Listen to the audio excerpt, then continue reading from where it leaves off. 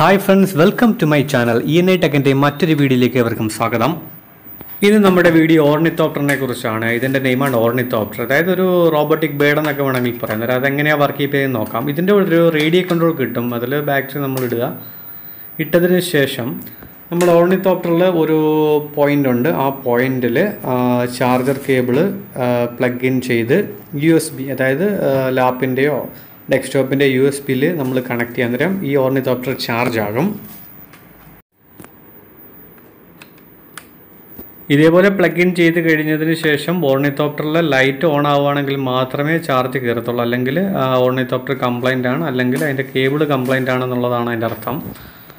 അതിനുശേഷം നമ്മൾ റിമോട്ട് കൺട്രോളിലെ സ്വിച്ച് ഓൺ ചെയ്യുക. സ്വിച്ച് ഓൺ ചെയ്യുമ്പോൾ റേഡിയോ കൺട്രോളിലെ ഒരു ലൈറ്റ് ഓൺ ആയതായിട്ട് നമുക്ക് കാണാൻ കഴിയും.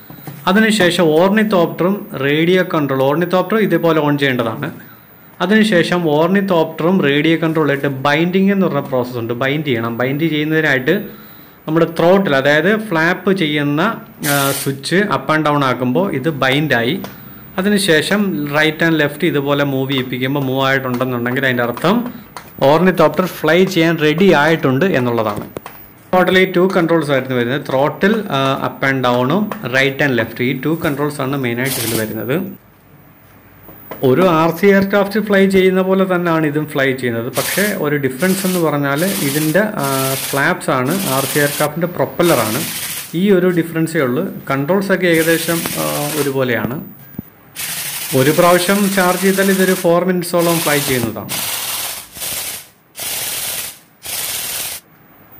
ഇതിൽ റെഡർ കൺട്രോൾ അതായത് റൈറ്റ് ആൻഡ് ലെഫ്റ്റ് ടേൺ ചെയ്യാനായിട്ട് യൂസ് ചെയ്തിരിക്കുന്നത് മിനി ആക്ച്വേറ്റേഴ്സ് ആണ്. ആക്ച്വേറ്റേഴ്സിന്റെ ഒരു ഫംഗ്ഷൻ എന്ന് പറയുന്നത് സ്റ്റെപ്ലെസ് ആയിട്ടാണ് അതിന്റെ മൂവ്മെന്റ് ലൈറ്റ് വെയിറ്റ് ആണ് കോസ്റ്റ് എഫക്റ്റീവ് ആണ് കോംപ്ലിക്കേറ്റഡ് ആയിട്ടുള്ള മൂവിങ് പാർട്സ് ഒന്നും ഇതിലില്ല. ഇതിൽ കോപ്പർ കോയിലും മാഗ്നറ്റും ആണ് മെയിനായിട്ട് വരുന്ന പാർട്സ്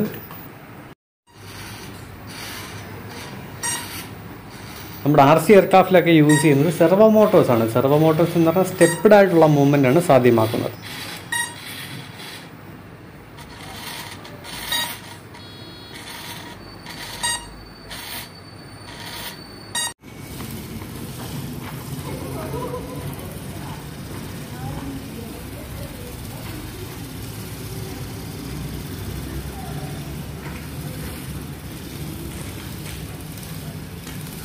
വീഡിയോ ഇഷ്ടപ്പെട്ടെങ്കിൽ തീർച്ചയായിട്ടും നിങ്ങൾ ലൈക്ക് ചെയ്യുക ഷെയർ ചെയ്യുക ചാനൽ ഇതുവരെ സബ്സ്ക്രൈബ് ചെയ്തില്ലെങ്കിൽ സബ്സ്ക്രൈബ് ചെയ്യുക.